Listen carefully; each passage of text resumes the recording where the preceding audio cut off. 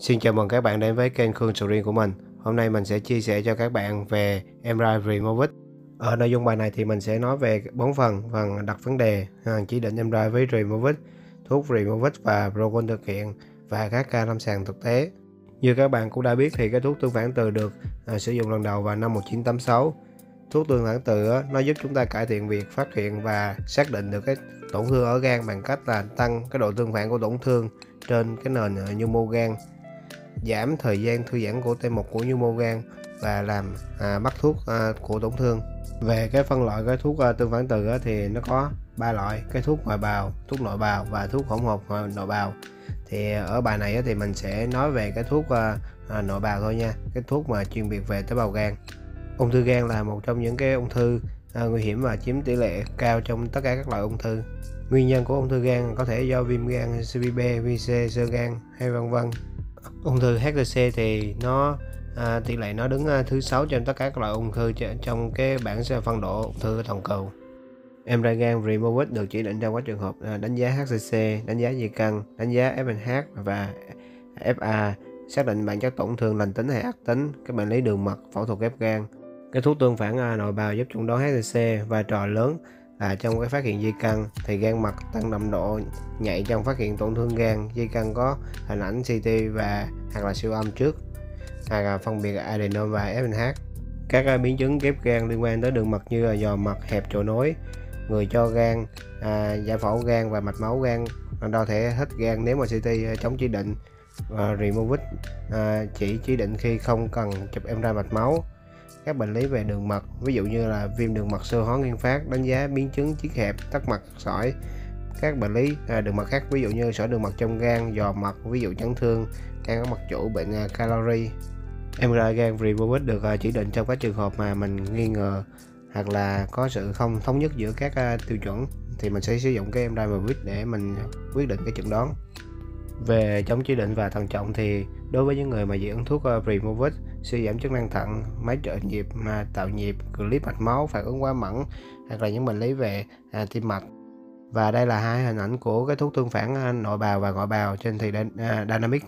So sánh giữa cái thuốc ngoại bào và thuốc nội bào á, thì cái thuốc ngoại bào á, thì nó có khảo sát được cái đồng học biết được cái đặc trưng của bản chất tổn thương khó phát hiện được những cái u nhỏ mà bác thuốc kém mà chúng ta có thể đánh giá được mạch máu tốt còn cái thuốc nội bào thì nó một lần tiêm nhưng mà có hai đặc tính. Thì khảo sát được cái động học cũng như là thuốc ngoại bào ở những cái pha đầu tiên. Còn đặc biệt là những cái pha tế bào gan thì muộn thì nó thấy rõ được cái tổn thương hơn. À, nhu mô lành được nuôi bởi tính mạch cửa 80% và u gan nuôi từ động mạch. Cái tổn thương bắt thuốc ở trên thì động mạch. Còn cái thì delay á, thì chỉ nhu mô gan à, mới bắt thuốc à, removit còn lại thì không hấp thu thuốc. Trên cái này mình ngóng thuốc thì nó dễ phát hiện được cái tổn thương như các bạn cũng đã biết thì HCC á, thì không có cái tế bào mà có phơ chức năng á, mà tế bào và tế bào gan bình thường. Tại vì vậy nó không có ngấm thuốc.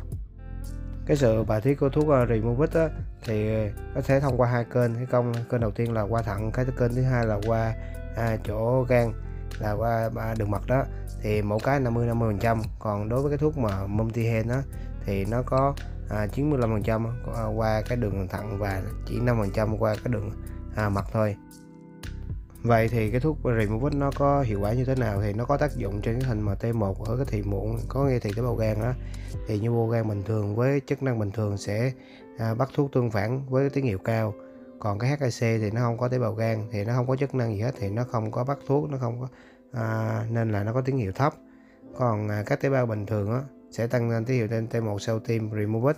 ví dụ như các tổn thương mà có dưới tế bào gan ví dụ như FNH này, adenom này thì sẽ tăng tiếng tín hiệu ở những cái thì mà tế bào gan thì muộn đó. Còn những cái tổn thương mà không chứa tế bào gan ví dụ như là HCC này hoặc là di căn này thì sẽ có tiếng hiệu thấp là không có tương phản không bắt thuốc tương phản. Còn ờ, protocol thì nó chia cái protocol với cái người mà có sơ gan và người không có sơ gan á thì chỉ khác nhau về cái thời gian chờ thôi. Có những người mà có sơ gan thì các bạn chờ lâu hơn. Còn những người mà không sơ gan thì các bạn có thể chụp à, à, nhanh hơn. Ví dụ vậy thôi chứ không có gì à, đặc biệt hết. Theo mình thấy á, thì cái tiền tĩnh mạch cửa rất là quan trọng để xác định đặc điểm của tổn thương. Mà khi mình dùng thuốc à, Removit á, thì cái tổn thương nó càng rõ ràng hơn.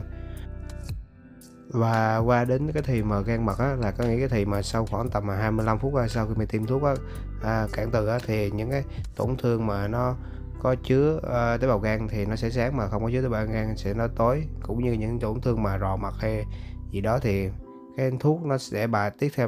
theo theo đường là 50% đường mặt và 50% đường thẳng trên nên khi mà những cái bệnh lý mà mật thì nó cũng thấy rõ ràng trên cái thị này. Tuy nhiên vậy thì mà chụp chúng ta chụp với cái thuốc Emragan với thuốc Ribovit này không phải là 100% mà chúng ta sẽ xác định được những cái tổn thương. Đôi lúc có những cái tổn thương mà không điển hình thì chúng ta cũng à, không xác định được. Chúng ta theo dõi thêm hoặc là sử dụng những cái phương pháp ví dụ như đánh giá dưới sinh thiết gan thì mới rõ ràng được. U mạch máu gan là những tổn thương gan lành tính phổ biến. Bắt thuốc ngoại vi, dạng nốt và hướng vào trung tâm thì gan mật có tín hiệu thấp phản ánh cường độ tín hiệu của tinh mạch cửa giả thải thuốc tổn thương SMH là cái tổn thương đặc điểm à, điển hình trên MRI ví dụ như là tín hiệu tương tự như mô gan xung quanh đồng nhất trừ sẹo trung tâm. Các thuốc mạnh thì động mạch không có watt out có sẹo trung tâm không có bỏ bao có hay không bề mặt ở phan muối. Cái cái dạng mà NH thì à, gan mật đó ví dụ như hình A thì chúng ta thấy đồng tín hiệu đồng nhất B tăng tín hiệu đồng nhất hình C thì tăng tín hiệu ngoại vi và tránh tín hiệu trong trung tâm. Và được giải thích là do cái kích thước ở sẹo trung tâm và cái OATB ở trung tâm thì thấp hơn ở cái những cái tế bào xung quanh ở sẹo trung tâm. Để mà phân biệt SH và adenom á, thì nó phụ thuộc chủ yếu vào cái thị tế bào gan. Adenom là cái u à, tuyến gan cũng như là những cái u lành tính có nguồn gốc từ tế bào gan. Tưới máu chủ yếu từ cái nhánh của động mạch gan khác biệt giữa SH và adenom là phụ thuộc chủ yếu vào thì tế bào gan và đường mật. Adenom thì không ngấm thuốc còn SNH thì ngấm thuốc. Em ra Removit với cái di căn thì cái nhiều của tổn thương dạng nốt được nhìn thấy tăng quan mạnh sau cái giai đoạn động mạch với cái thải thuốc trong thì à, tĩnh mạch cửa và một số à, trung tâm có hoại tử tín hiệu thấp. Cái thuốc Removit cũng hữu ích trong xác định cái ung thư đường mật. À, nó có ít mạch máu và nó bắt thuốc uh, bắt quan quyền à, ở cái thời gan mật. và đây là cái bản tóm tắt đặc tính bắt thuốc uh, của các uh, u đối với thuốc Removit thì các bạn có thể tham khảo và một vài cái thực tế mà mình đã chụp thì mình show cho các bạn xem đây kết luận thì cái thuốc Emra Ribovit à, giúp chúng ta phân biết à, phân biệt được cái à, MNH và adenom phát hiện được cái di căn phát hiện và xác định được các đặc điểm các ung thư tế bào gan và ung thư đường mật đánh giá hình ảnh trong ghép gan đánh giá các bệnh lý đường mật phối hợp giữa chuyển hóa tưới máu đường mật thì giúp, giúp cho chúng ta có sự lựa chọn à, giải pháp từ điều trị nội khoa hóa chất.